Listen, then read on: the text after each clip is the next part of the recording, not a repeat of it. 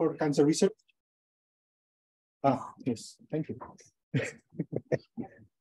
so he, um, Eric has been has been in, I would say, bioinformatics for um, many years now, and in computer science even more years. So uh, he will be talking today about about digital twins in cancer. So I mean, please uh, raise your hand and have ask questions whenever you want. And people online write your questions or also raise hands so that we can know that you want to ask something. So yeah, with further ado, Eric, floor is yours. All right. Thank you, Arnau. Thank you, everyone, for the opportunity to speak with you today and share some information about some exciting developments that we have at Frederick National Lab in the context of uh, digital twins for, in biomedicine. Uh, mentioned that I've been in bioinformatics for a while. I started in bioinformatics about 2001. Uh, my background before that was actually in computer science and computational chemistry. So uh, about that time, it was becoming evident that biology was an exciting context for the chemistry that I had a background in. And so I jumped into bioinformatics uh, without much of a biology background. So for the past many years, I've been learning a lot from experts, uh, bringing what I would say is a, na a, naive perspective to many of those experts about what can be done uh, from a computational and a chemistry perspective. And over the past 20 years, it's been exciting to see the convergence of the computing and the chemistry and the biology, which really does become manifest in in Frederick, or excuse me, in uh, the biomedical digital twins. And so that's what I'll be talking to you about today. Uh, so a little bit about the items that we'll talk through today. I'm going to give you some foundations for the innovations that we have with biomedical digital twins, their computing and other types of foundations. We'll focus a little bit on the biomedical digital twins, we'll have a, essentially a use case that we look at for treatment optimization, where we see the convergence of activities being undertaken in AI for drug discovery, how those converge with digital twins, and then we're going to save some time for discussion. There will be actually quite a few slides, but hopefully that will keep it interesting. Uh, so here we go. The acknowledgements are, I usually put up front all the work that we're talking about here has been really done by teams beyond me. I've, my role has been really to uh, work with the others, identify ideas and build communities around those ideas.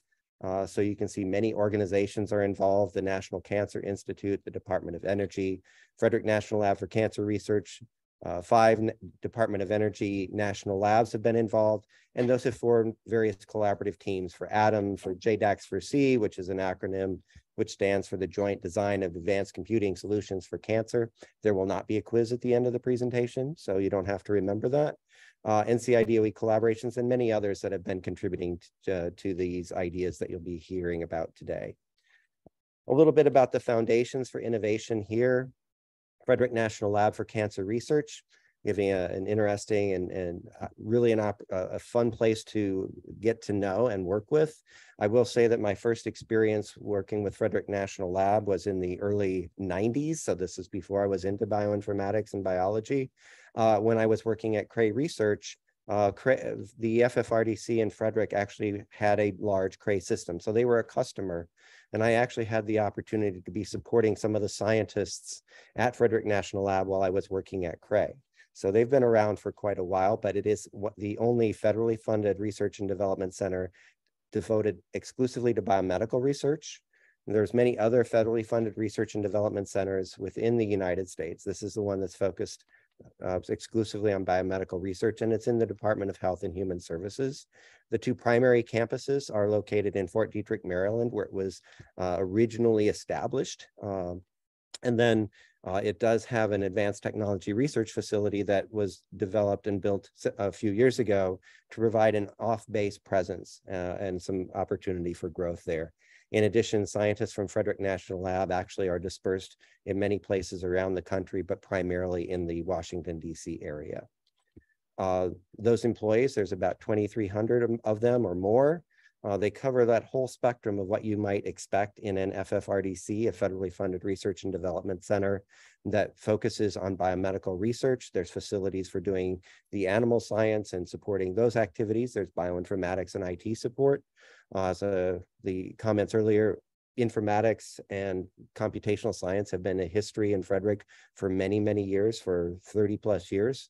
Uh, they do basic translational and clinical research. Uh, what's interesting to know is there's actually a vaccine ma manufacturing plant within the context of the national lab. So it not only can actually perform the experiments, it can create the components that are needed for the experiments. That vaccine plan has become helpful, certainly in the SARS-CoV-2 uh, response, but also in other emerging health uh, pandemics and, and, and epidemics, uh, working with Ebola, HIV, Zika, and others. And then the other things that the the National Lab looks at is advanced technologies, computing being one of those, and NCI national missions. I'm not going to go over all of those, but suffice to say, there's a lot of activity at Frederick National Lab. So the other part of the foundations for innovations that I wanted to talk about is the essentially the push for exascale. And the, the timeline here essentially begins in about 2015 is when we had uh, earnest discussions with the Department of Energy about how could we take advantage of their growing capabilities for large scale exascale computing and use that to potentially address some cancer challenges. So that led to that acronym that we talked about earlier, the Joint Design of Advanced Computing Solutions for Cancer, which is a collaboration between the National Cancer Institute and the and the Department of Energy. But you can see the several level layers here that we begin to de develop in time. The first focusing on the networking, data transfer, data management, and HPC access, adding to that training, then adding to that those collaborative efforts between scientists and computational scientists, ultimately culminating in capabilities that would be considered exascale challenge cancer science projects about 2018, 2019. And you'll see some of those reflected briefly today.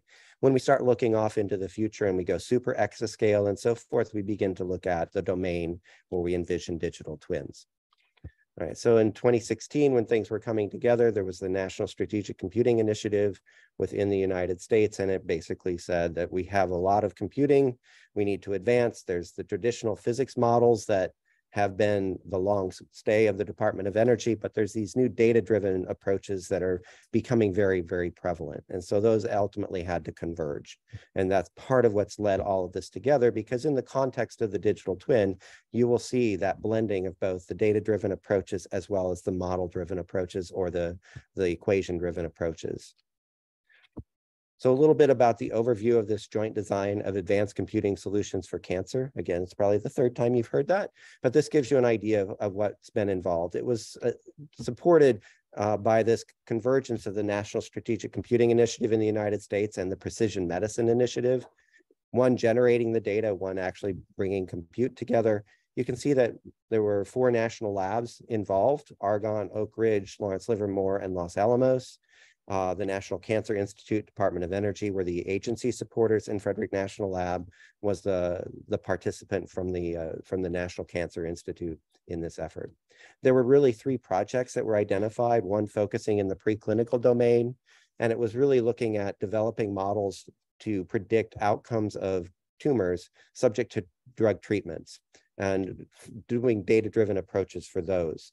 Uh, the second one that you see listed there is looking in the clinical domain and expanding the database of the SEER database, which is some information that you can go access to and publicly. It's it's surveillance, epidemiology, and end results database. It's a database essentially of cancer information, cancer patient information that is collected and made available for research, and expanding that to have more fidelity and doing it more effectively.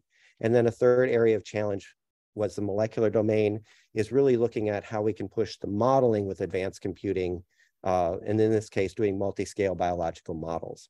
And so this has been a project that's been underway, harmonizing with one of the national initiatives that the, uh, the NCI has established, and that is to make progress on RAS-related cancers. Underlying all of this is something that's called the Cancer Distributed Learning Environment, which is a large AI uh, deep learning um, system that's been co-developed by the national labs in this context, but the, the PI and driver for that is coming out of Argonne National Lab. The individual who leads that effort is Rick Stevens. Uh, another aspect that's an important foundation is that there's we're learning that all sorts of data come together. So going beyond the data that would be used in those three model spaces, we see all sorts of information coming together when we start looking at the future for predictive and precision medicine. It's genomic data we're familiar with, it's clinical data that we're increasingly uh, being incorporating various forms of clinical data, self-reported data, and then putting this all together in usable ways. Another aspect of the foundation that's important to know about, I've had some conversations this morning uh, that uh, hopefully this would be of use, is that the NCI has established a, a cancer research data commons. Uh, the Cancer Research Data Commons is pulling together the information that the NCI has funded through various grants and putting it into a, a central resource that individuals can access and download information. It started with the Genomic Data Commons because a lot of information had been developed with the Cancer Genome Atlas project, but extended to other aspects. There's a Proteomics Data Commons. Uh, they've stood up an imaging data commons. There's an integrated canine data commons. So essentially creating these commons areas that are taking information that the NCI has supported in their grant efforts and pulling it together for the, the broader public and the community to take advantage of. So knowing that in many cases as data scientists, one of the key things that we need is data. This is a key resource for many of the investigations and things to come. Another aspect that we put as a, as a foundational element is when we start doing model development as data scientists, how do we share the information that we have? How do we make it available? And so the collaborative projects that we talked about with the DOE, we want to make sure that that information is publicly available. These were funded by the Cancer Moonshot activity, which has as its, its driving uh, uh, guidance is to make the data and results publicly available. So we established the model and data clearinghouse, which is the predictive oncology model and data clearinghouse, where we are putting models and data sets for the public to access. And what's important about that is we operate it not just as a repository, but as a clearinghouse. So the data are there, the models are there, and we can continue to qualify models in a growing way, giving more insight into their performance and so forth. It's a reason it has an extensible metadata context to it. We can arbitrarily add new fields that become important and relevant to the models and the data sets over time. And then a little bit more about CANDLE, since so much of this is driven by AI activities. Again, this is publicly available. You can go download it from GitHub. Uh, and we've had students use this on laptops all the way up to the large exascale systems. Uh, it's designed to be portable and leverage for large scale systems, deep learning technologies that have been developed um, broadly. So it becomes a very integrated environment. And lastly, as we get into this, the, one of the things that we realize as we go forward is building a community. Uh, so we actually established a website to build a community of individuals that are going to be working and talking together. So these are the foundations that we have for the activities that will lead us to the digital twins. So a little bit more about the digital twins. And before I jump into this, I'm going to pause and ask if there's any questions online or any questions in the room. All right. If there's no questions, we can jump into the digital twins. All right. So what's a digital twin? A digital twin is very similar to what would be a, a, simulation, except there's a couple of differences. So we do a lot of biological simulations and we simulate various systems and so forth. What makes a digital twin distinctive is that it's about a specific instance and it is updated in real time with data about that specific instance. They use digital twins in other domains.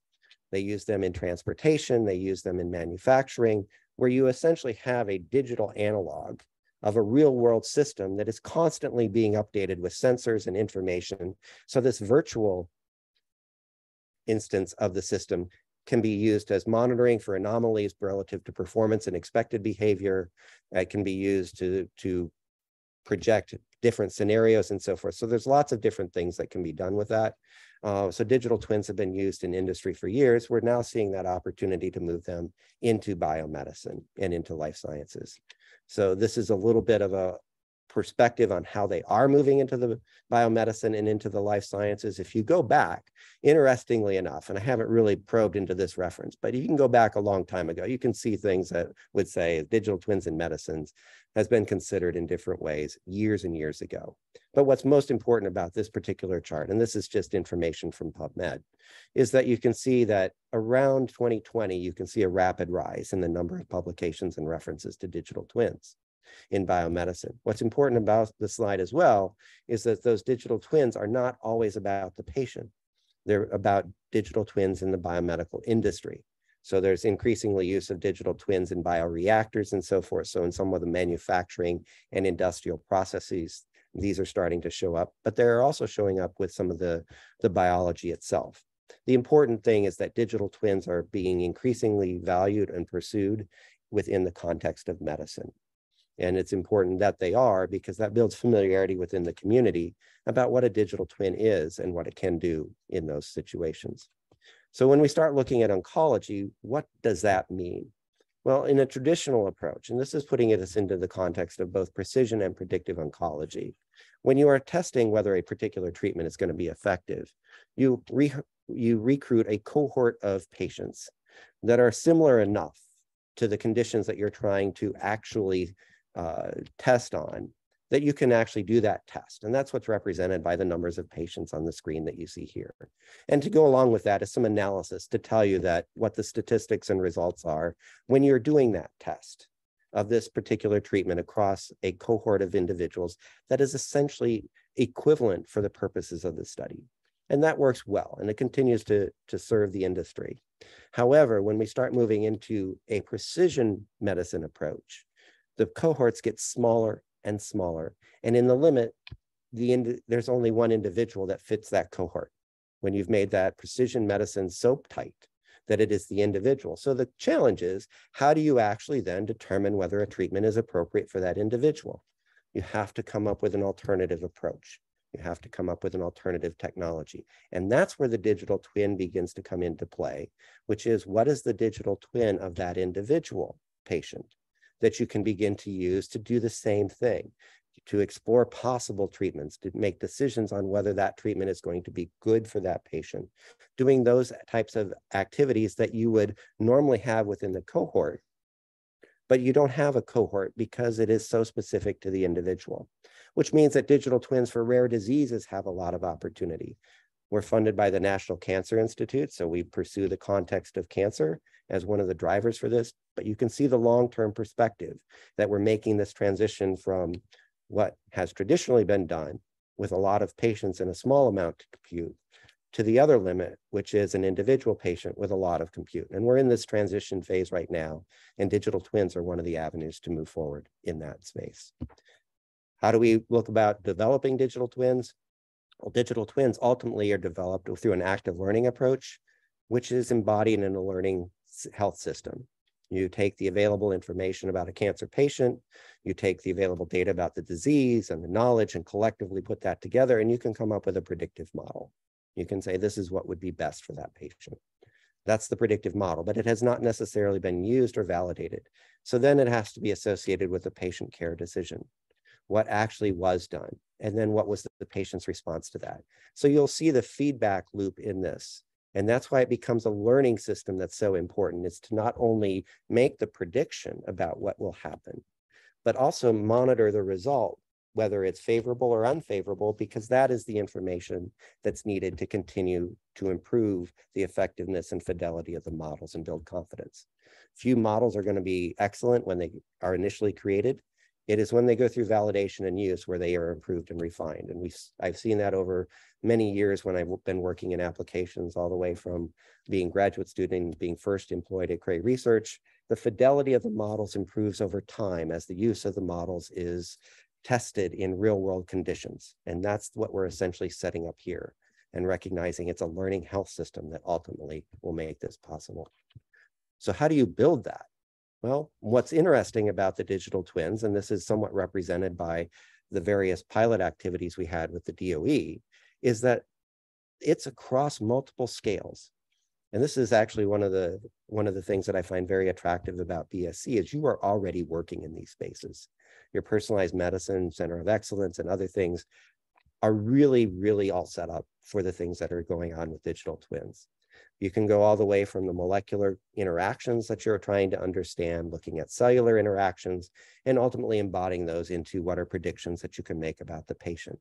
What's important is when you're making the decisions about a care decision for the patient, that you can trace back the information from that decision about the patient to the evidence, whether it's real world evidence or computational evidence that support that decision. And that ultimately tracks all the way back down to the fundamental interactions. So the whole process of putting this together is really a matter of taking many of the domains that are already underway and connecting them so that the evidence and supporting information flows between them so that you can have the evidentiary support for the patient track through what's the model for the tumor, what's the model for the cell, what's the model for the molecular interaction.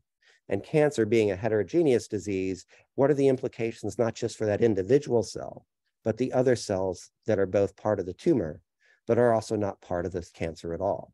So having all of that supported by evidence. It's not an easy project by any stretch. It's one that takes a community. That's why we have the foundations that we have in that situation to put things together. The technical foundations is a little bit more about the projects in their current state with the DOE, the multi-scale modeling focusing on the RAS RAF initiative, which is now extended. Its domain is called ADMIRRAL. MOSSAIC is the surveillance project that is really using AI to accelerate and integrate uh, that critical part of the, the, uh, the learning system, which is input about the cancer patient itself. Improve is a new project that's underway, which is uh, developing approaches and a framework to look at AI-driven models and understand where they're limited and what takes to improve them, whether that's improving the physical model itself or actually improving the data that is supporting the model. Those are important decisions to know. ATOM we'll talk about a little bit, but it really is an intersection and applies um, for treatments. And Candle we've talked about already. So when we put this all together, that simple diagram that we had earlier, which was really a, a, a, context diagram, resolves out in a little bit more detail here. And you can see we have data from all different scales, both spatially, when we look at the patient level, things that are happening to them physiologically, all the way down to the molecular level. What are the molecular level interactions? All of those are available information about the patient. We don't necessarily yet know how they connect and how they relate, but they're all knowledge about that patient. And then we look at that information over time. So we have the ability to make observations over time in order to form that predictive model over time. That's one of the things that becomes very evident when you start doing modeling. If you're going to make predictions over time, you need data over time. So ultimately, that's one of the things that we come together with and make that happen. So what led us to some of the things that we're doing with the digital twins in this particular context in, the, in 2020, we had an ideas lab. And if we all remember 2020, March of 2020, at least in the United States, is when we transitioned from working it together in a common building to working very separated in uncommon buildings. Uh, and that's what we ended up doing in 2020 in July. We had a, an innovation lab that was actually all virtual because of the state of the pandemic response at the time, where we asked the scientists to come together from many different disciplines to envision what they would do for cancer patient digital twins. Guess what? They came up with some things. What Before we get into the details about what they came up with, here's a, a paper that was published uh, last year to give a little bit of a context for that. You'll see similar themes to what we've already talked about. But in that particular context, the cancer patient digital twin looks at the predictions that are made in the upper right hand that support that decision about the patient with their physician that moves into work, use within cohorts and clinical trials and ultimately feeding back as more insight into the patients in the upper left. There was a, that manuscript was a, um, a brief publication that was put out in, in uh, Nature Communications. The implications of that manuscript are summarized here.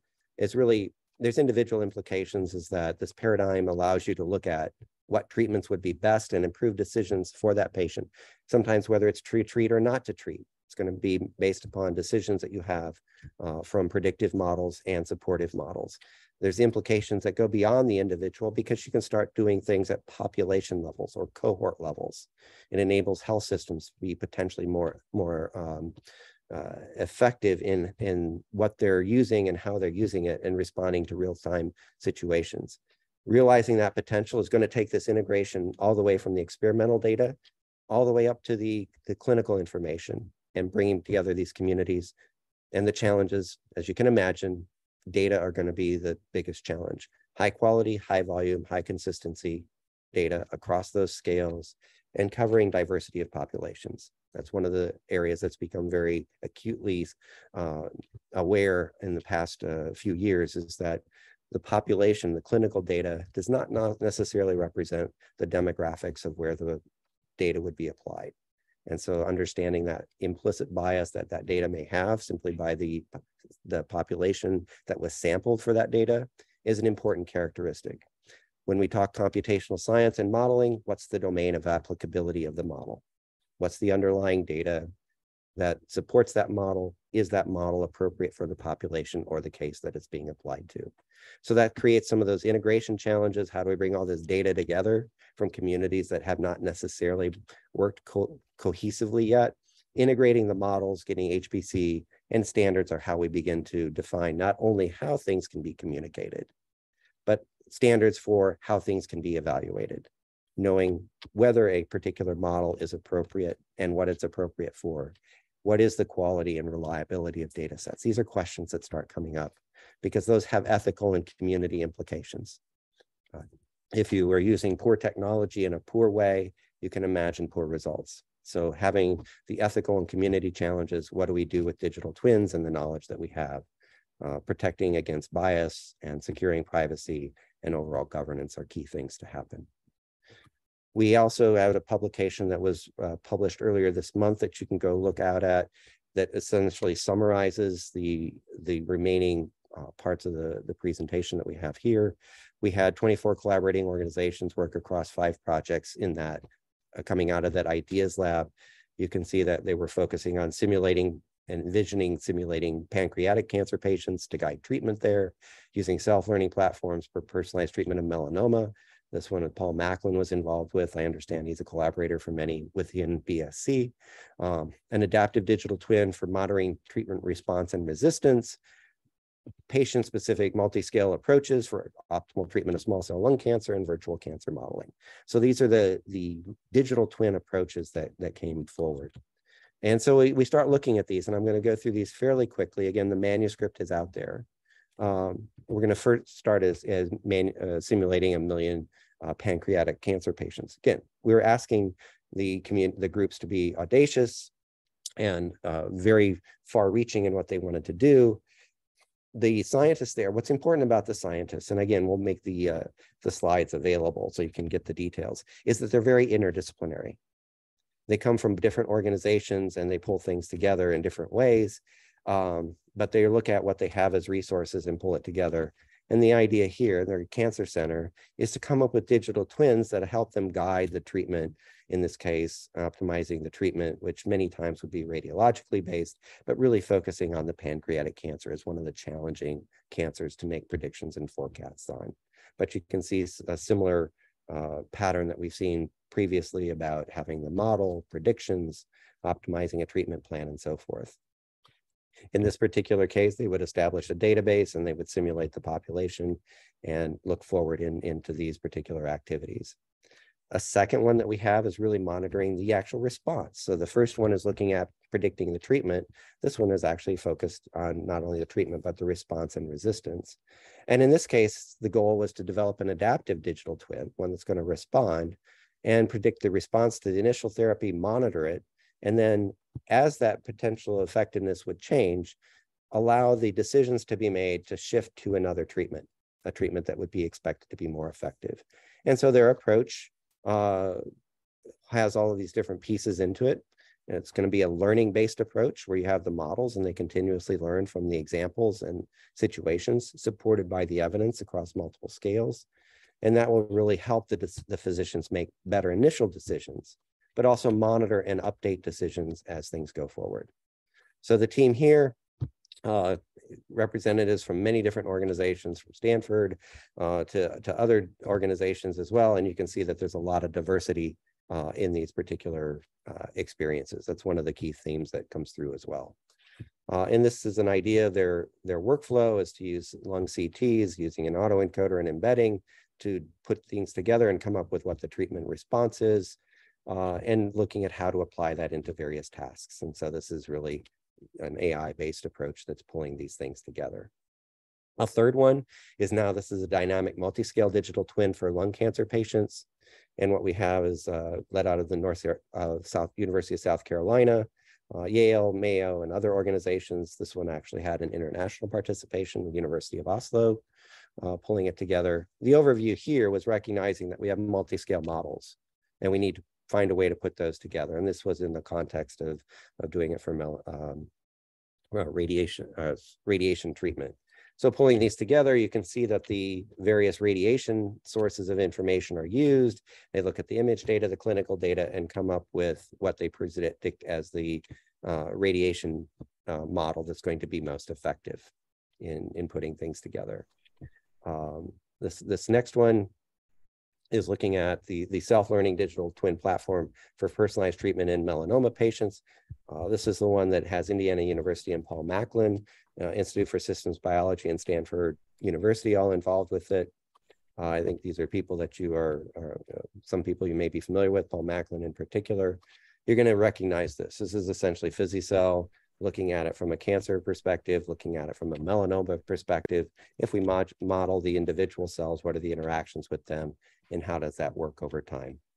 Uh, and uh, as, as you know, become very familiar uh, in this context, the, the images and so forth of the agent-based approach and how they evolve is here. And what, how can this be done to actually support decisions?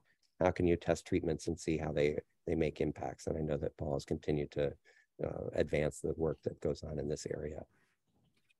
The last one is my virtual cancer, which is going to be a much more mechanistic based approach, uh, led out of the University of Massachusetts Amherst and several scientists from other organizations as well, uh, pulling things together. And again, these are particular projects that were left to be designed and intended to say, what would be a 10 year effort and how would you get started?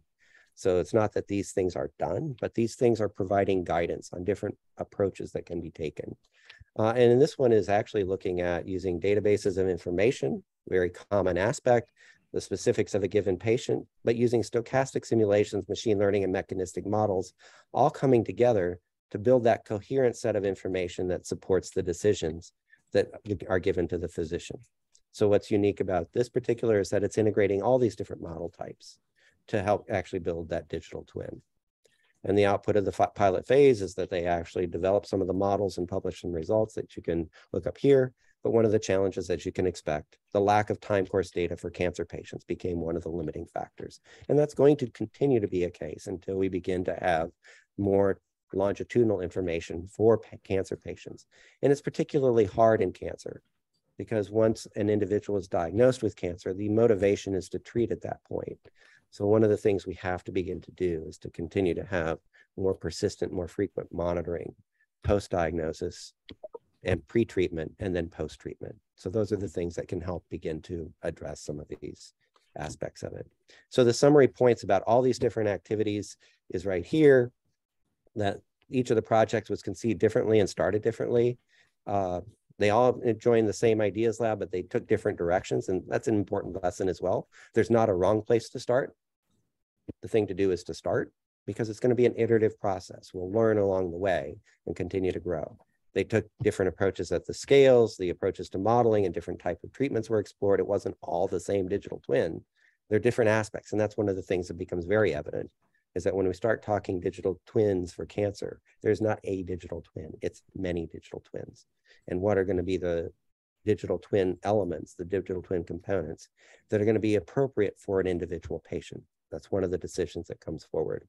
Um, another aspect is the projects are used uh, AI collectively in different ways. Some of them were substantially AI driven.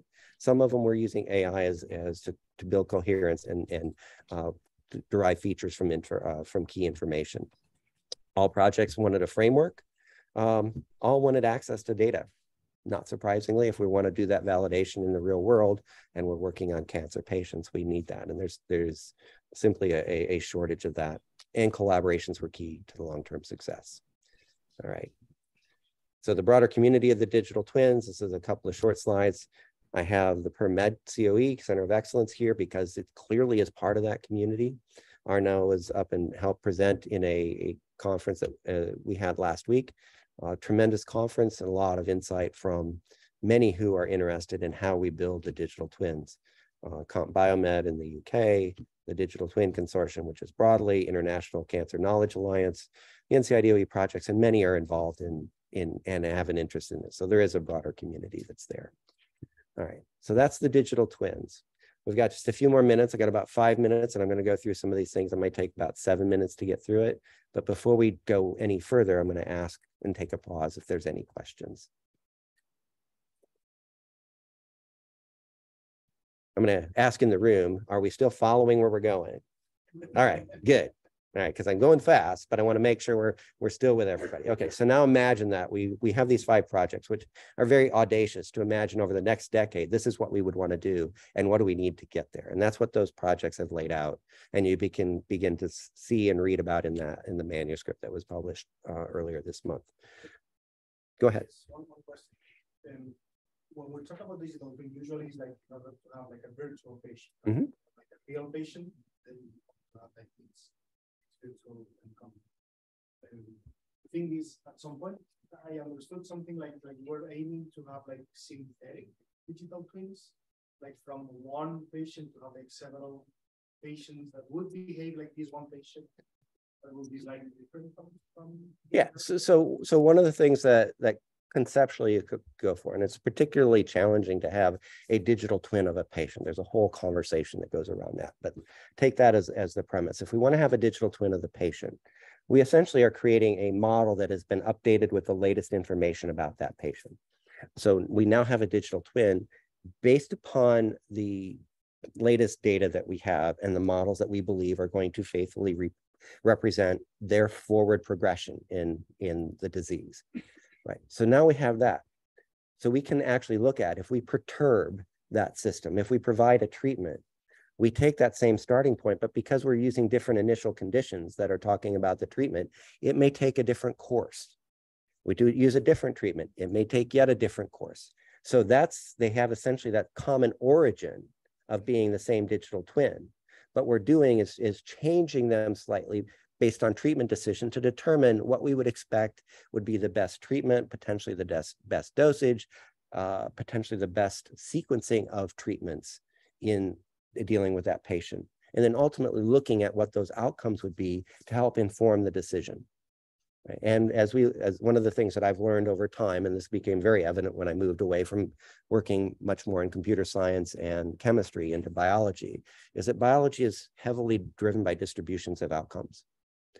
Whereas when in math and, and physics and so forth, we're used to single values, things that are very narrowly peaked. Biology is very broad, is increasingly broadly peaked, right? So what we're looking at is when we do the initial treatments, what distributions of outcomes are going to seem to be most favorable. And to me, that's one of the big challenges when we see a distribution of outcomes.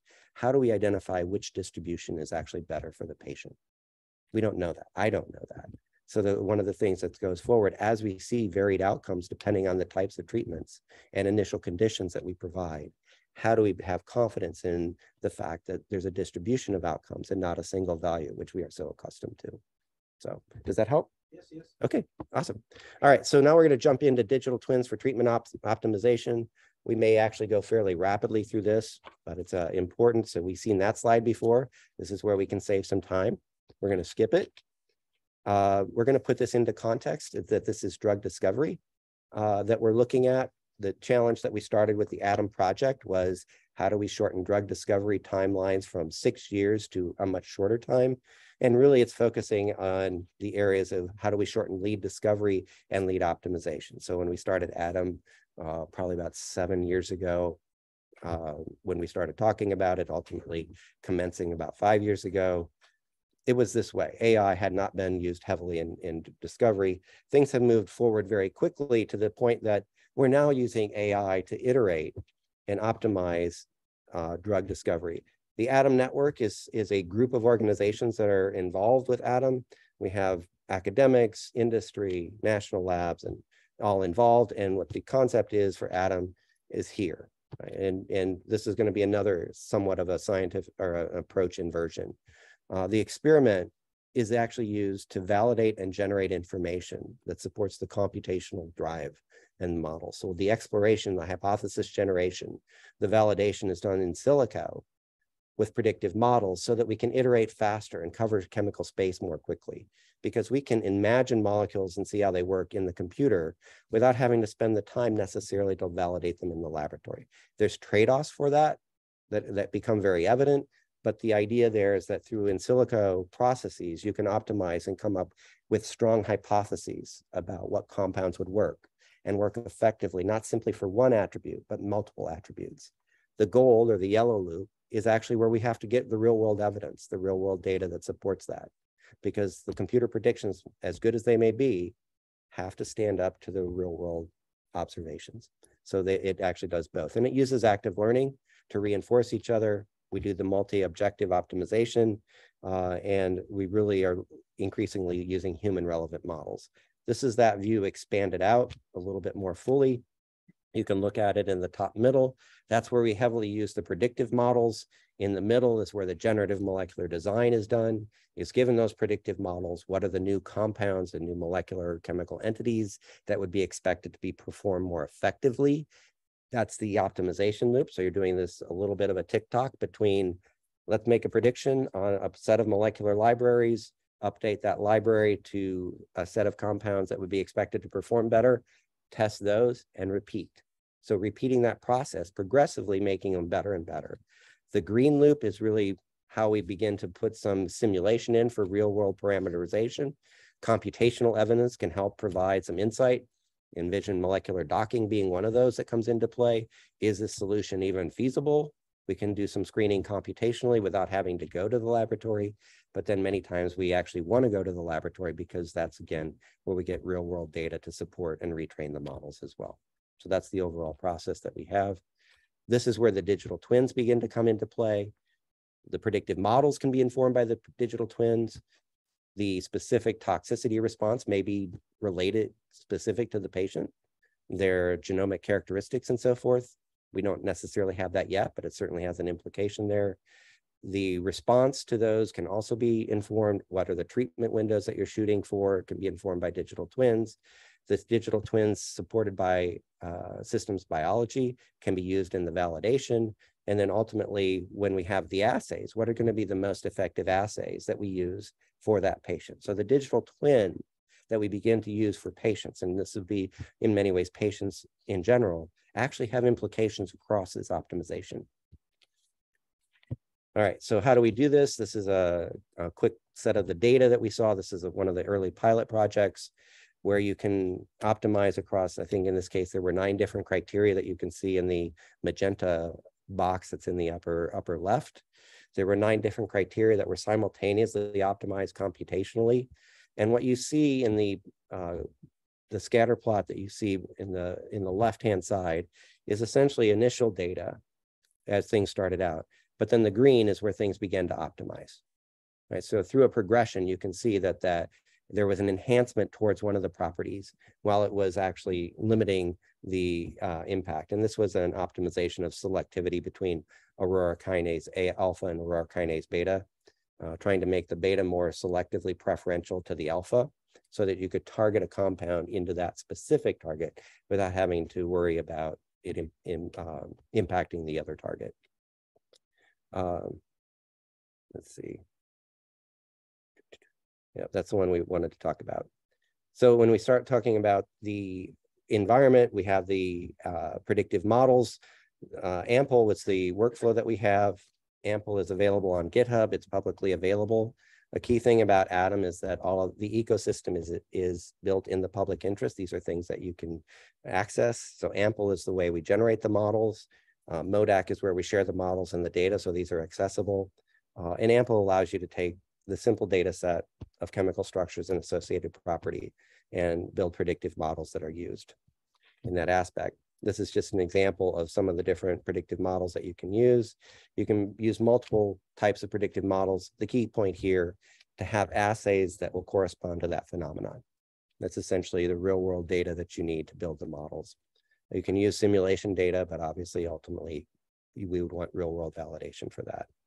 Um, when we start putting things together, here's a, a, slide that sometimes you have to get creative in putting the different pieces together. It's, it isn't simply local properties of the compound, but how they interact with the system can actually give you better results uh, for the predictive property when you put things together.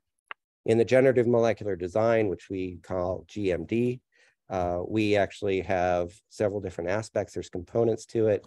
There's an AI generative model that uh, uses an auto encoder approach. There's different approaches for doing this that go beyond auto encoders like transformers and things of that nature at this point. The key point there is that you have a way to come up with new compounds. You evaluate them with the predictive models to see if they are better.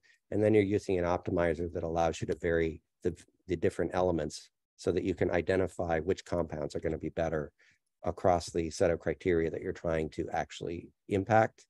This is an example of another case where you're doing the optimization. You have about a dozen different criteria here and essentially an optimization using a weighting function of the different characteristics that you're trying to optimize for.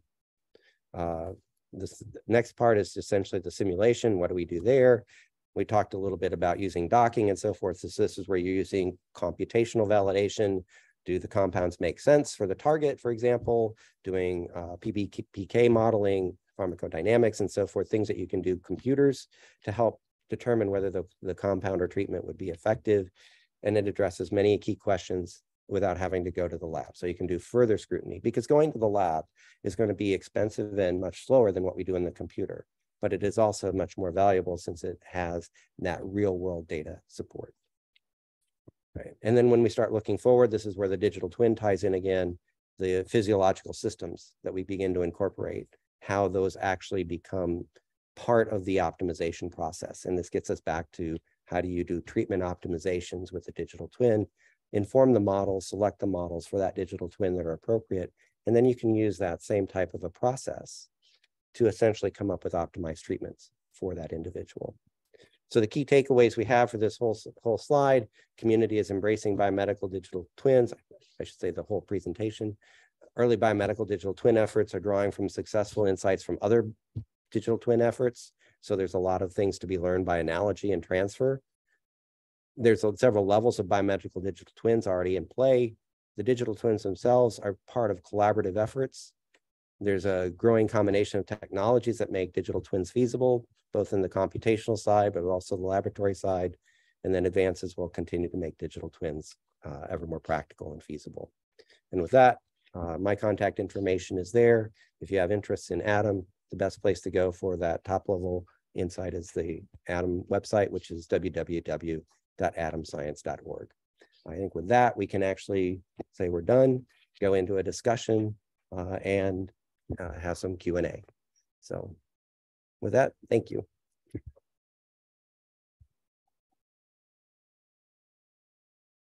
Thank you. Thanks for the presentation. Can you check the the mic to the to the thing here? So going again to the chevron. All right, we can do whichever you need. Goes up to audio, yeah, there.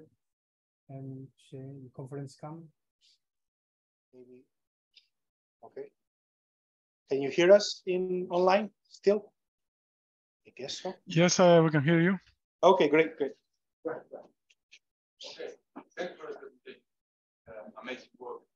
It's a very general, maybe naive or tricky question, but you talk about digital twin. Uh, okay, it's a computational model, but it, it's any kind of model. So when you vision, it could be a deep neural network trained for a particular patient, or it could be. That's my question. Or it's a mechanistic model that. What, what yeah, what so, are we talking about when we yeah, yeah. So, so, so, the, so the question is, if I if I paraphrase this correctly, which type of model are we talking about when we're talking about, in this case, a biomedical digital twin? Yeah. And and and my my answer to that is it's going to depend on what it is that you're trying to accomplish with that digital twin. It, it is going to be dependent. It's going to depend on whether you have data, whether you have underlying theory that's very reliable, such that you may have a mechanistic approach and increasingly, we're seeing the blending of both of the AI and the mechanistic approaches, because ultimately the criteria is going to be based upon how well it performs relative to the real world evidence, the real world data about the patient. And so rather than saying a priori it's going to be one or the other, it's likely going to be a hybrid of different elements that work together as you start looking at what's going to be best to represent in the system for what you're trying to model and then update for the digital twin for the individual patient.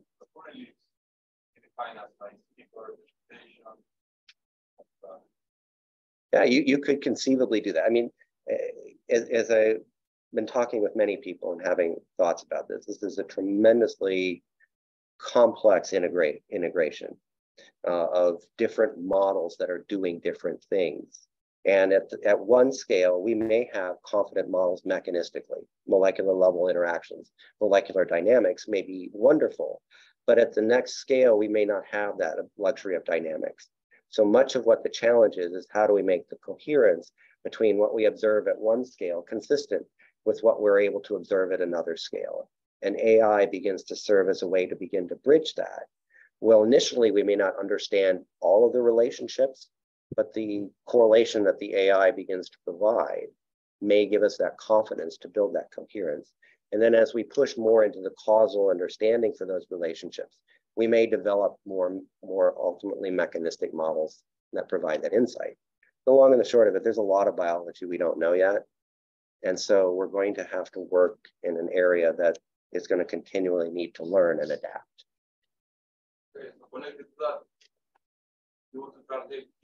Want to translate these clinics up to standardize the yeah. decision, the kind of model. Do you envision a way of you know, okay, there are well-grounded models like molecular dynamics, but okay, yeah. you know, it work or, or other levels, you don't know how something. Um, do you see a way there could be in a future uh, like ecosystems of models for covering that can be standardized? Yeah, I, I, I actually, and personally, I do envision a situation like that where it's going to take some time because ultimately when when you're presenting information to the physician, and I'm not a physician, so physicians would be the ones that are that are best to answer this. But based on uh, working with some physicians and other projects that have worked with physicians, they need to know that the information they're presented with has evidentiary support. Right? And so ultimately, what we're doing is building a system that supports information to the physician that is based on evidence, whether that's real world evidence, which many of them do either by recall of what they know about prior patients, what they look up about patients that they don't yet know, or what we might do from a computational perspective that the computational evidence supports this. So in the decision as we, as or in the presentation as we bring it to physicians to recognize it needs to be present, presented in a, in a manner that is going to be consistent, that it enhances the clinical workflow and enhances their activities. Right? What we put behind that can have increasing fidelity and complexity but ultimately it must converge into supported evidence. And that's why it's going to take some time because it's not only developing the models and how they work together, it's how that evidence from each level actually integrates and supports to where you can make that decision. Yeah. Questions, no? I, I have one. You have talked about multi-scale longitudinal data. Yes what do you, I mean, what is this? What is multi-scale longitudinal data? I mean, right now, yeah, yeah. all the data we get from patients, yeah. destroy the sample in order to analyze. Yeah. So how can we make that longitudinal? Oh, that, that that's that's one of the, the the big challenges, especially for an individual patient. How do you get multi-scale longitudinal data? Because in many cases, the longitudinal data is a, a difficult to get but you can imagine some scenarios. So this is where we're going to go into uh, uh, what I'm going to say is, is someone who's not qualified to be answering this question, speculating on things that could be done. So when we want to get longitudinal data, the important thing is that it is information over time. Right? So you can imagine that you are taking an individual that may have been diagnosed with cancer, and how do you monitor them over time? Right? You can do that increase, you know, we do it at coarse grain. They go in for, for scans and you get a longitudinal record every six months. They go in for scans and so forth. It's a very coarse grain, but it is longitudinal. Now, when we want to get multi-scale, well, if we only use one modality at a time, we'll probably only get, a, get an observation at that scale. So it really ultimately comes down to doing monitoring at multiple observations at different levels. So you could be doing a blood draw at the same time you're doing the imaging. And now you have an, an opportunity to probe and get information about the patient at another scale, at another level than the, the standard one that you're using. So ultimately, as, as we've kind of looked at this, the frequency at which we are monitoring patients is actually very coarse grained. Right now. And it's there's a lot of reasons for that. And I'm not here to debate the, the whys and the wherefores, but just simply observe that it is coarse grained. It's every few months after treatment, there's a follow-up, for example. And usually it's not done at all depths unless there's something anomalous, right? So the, the goal would be to increase the frequency at which we're observing the individual patient, as well as the number of observations that we make that are appropriate for the different scales. That's ultimately how it develops. And with the advance that we have in 5G, wearables, things that we can do through uh, sampling blood and other things like that, there are a lot of ways that we can get more dense information over time that will provide a greater and, and more have greater fidelity in what's actually happening uh, physiologically to the patient over time. Will the system also define when and what analysis to do? Oh yeah, could the system ultimately define when and what to do? Absolutely. I think for me, as, as and this is more of a personal perspective, and I, I, should put in the qualifier that everything that I've shared is personal perspective, um, is that yes, that's certainly one of the things that you can look at is the digital twin based on a physiology and a prediction could indicate when things should be monitored and followed up at a frequency. So if the cancer is anticipated to be slower growing, you may have a longer follow-up period, for example. And if the cancer is expected to be more aggressive, you may have a shorter follow-up. Those would be some of the things that would be you know, consistent with what is done today in practice, uh, but increasingly providing that. And then I think this is where some of the learning system comes into play is when the prediction isn't matching the observation is to make sure that that is captured so that it can actually be updated in the model so that the next prediction will have the benefit of that insight. Right? And that's why it's so critical to look at this as really building a learning system so that the digital twin and the active learning on the models for the digital twin can actually continue to be developed systematically in the overall uh, process. Go ahead, go ahead. For this different question. Okay. No, there's Natasha has, has her. This is very big. like when you say that it is going to take time.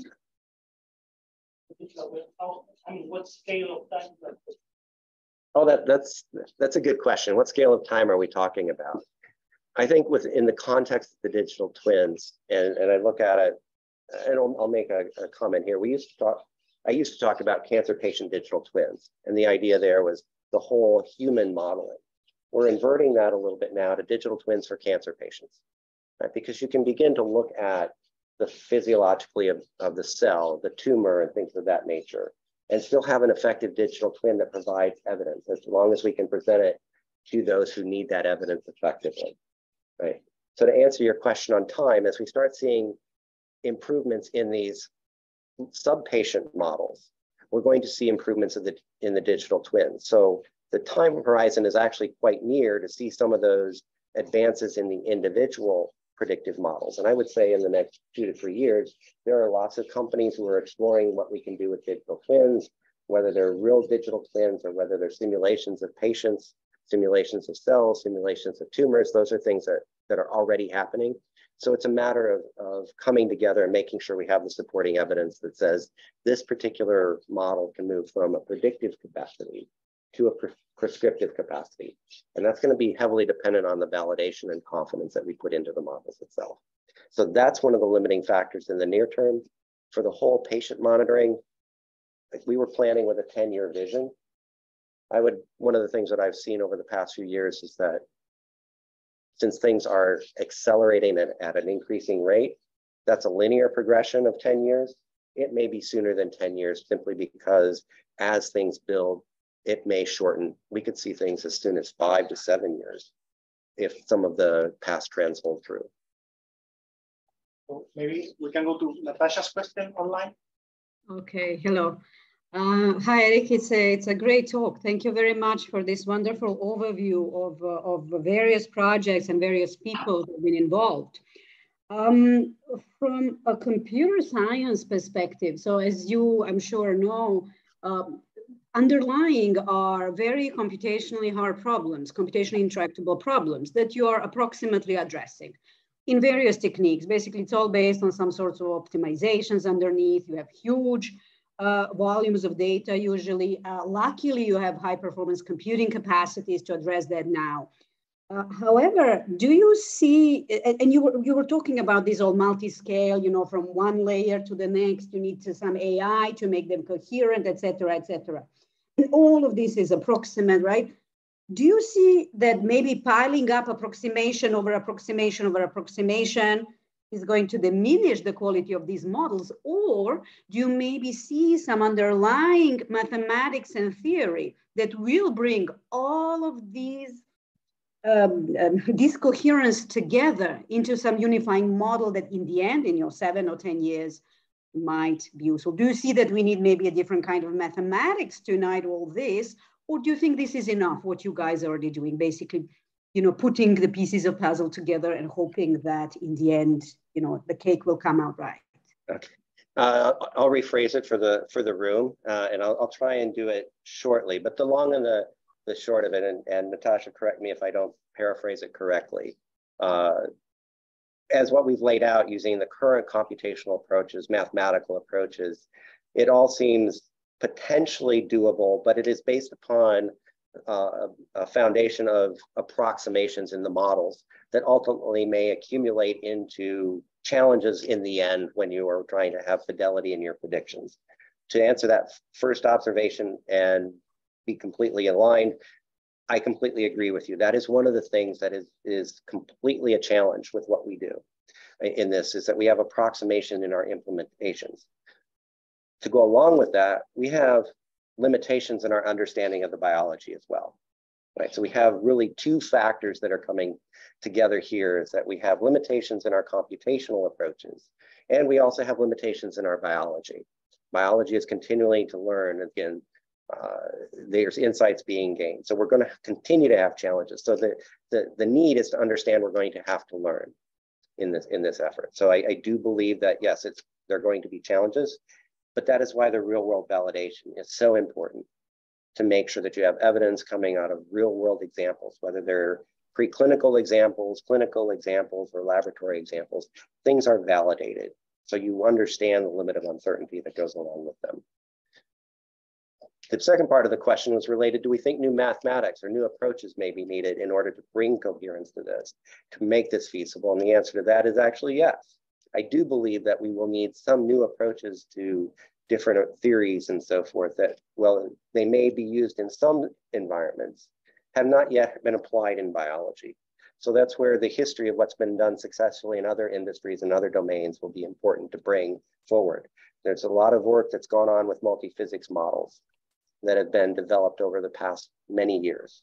Are there lessons from multi-physics models that can be brought forward into multi-biology models that we can use? Is there new mathematics? More than likely, there will be new mathematics that will be there because ultimately it comes back to providing confidence in the information that's being communicated to those who are making the decisions, those who are the stakeholders in the decisions. Is the current technologies and mathematics and knowledge sufficient to some it is. We obviously have physicians that are treating people today. So how do we actually support the physicians more effectively with the new insights that we're ga gaining in the biology and translate those up into actual practice? So hopefully I've answered your question well enough to say, yes, I believe new things will be needed. I do not know what they are, but I do envision that a lot of the empirical observations have to be made coherent uh, efforts and potentially in causal reasoning, causal inference coming into play, where the AI may provide some insight that there's a there there, there's something that's consistent that is being regularly predicted by the AI observations that we put together, and asking ourselves, what is the fundamental physiological or scientific basis that this predictive model seems to be embodying, and having the ability to support those. So that's where I, I come back to the question about, is it going to be AI driven? Is it going to be mechanistic driven? I think it has to be a hybrid of both because in some cases the AI will help us bridge complexity when we do not have mechanistic or scientific understanding. And then how do we begin to then incorporate the science, current level of scientific understanding into the approach itself, recognizing that we're going to be much more comfortable if we understand that there's equations behind it than simply this is what the data says. Yeah, great. Thank you. Thank you very much for this great answer. Um, yeah, uh, I, I, totally agree with you. Um, it's just, do you maybe see some kind of a mathematics that is coming up from your experience rather than just basically these multi-physics models transforming, transferring them? Have you seen something promising in your personal opinion? In, in my personal opinion, I haven't seen anything formal, but I have to also admit I have not been pushing hard to look at what is coming up mathematically but I do know that there's there's various theories out there. I know that game theory has a lot of opportunity in different aspects. I haven't not personally looked at what opportunities game theory may have in some of this. I think ultimately it comes back as we work increasingly with the oncologists and the physicians. What is it that will be meaningful to them that they will have confidence in what we present?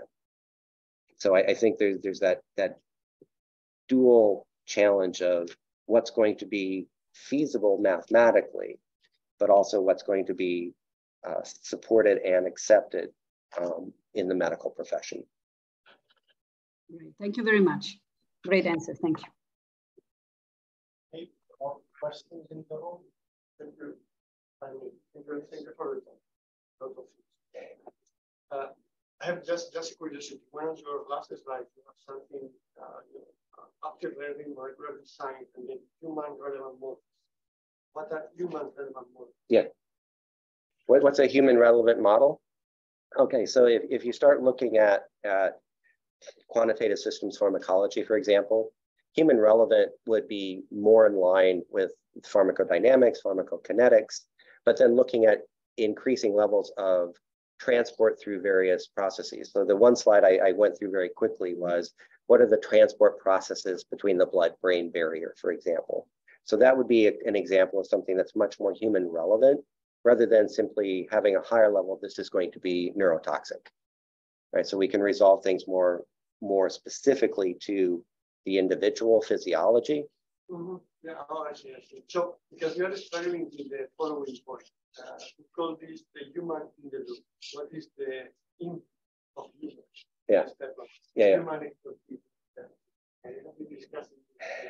That, that, that's the last few days, and particularly in this type of you know, uh, molecular type situations.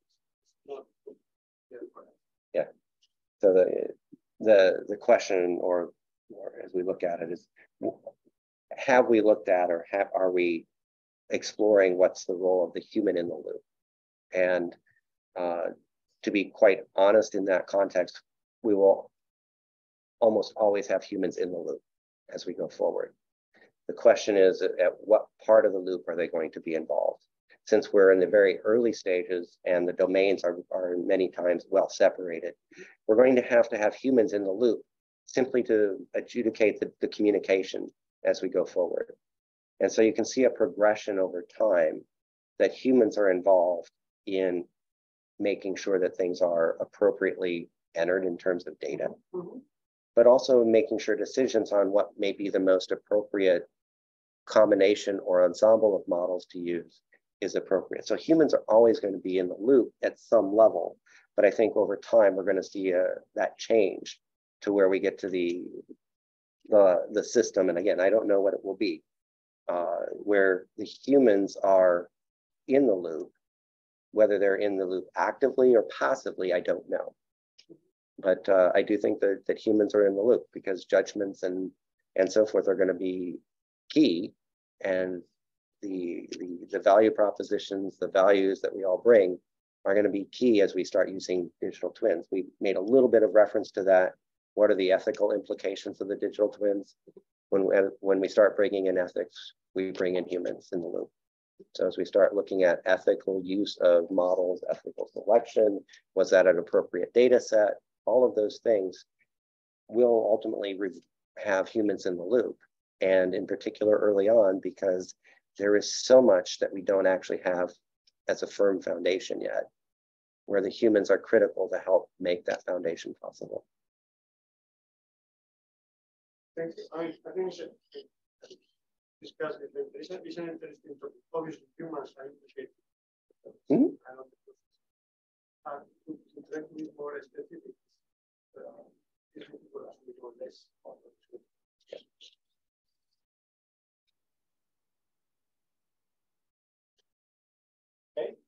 Maybe and let's move can call it a day. Thank you very much. You're welcome. For, for your presentation. And so we will we'll continue discussions with the Sure, absolutely. And thank you all for coming. See you soon.